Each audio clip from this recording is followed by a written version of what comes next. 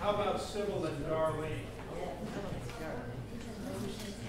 I'm gonna defer to Sybil, forty-seven. Carolyn? Forty-seven.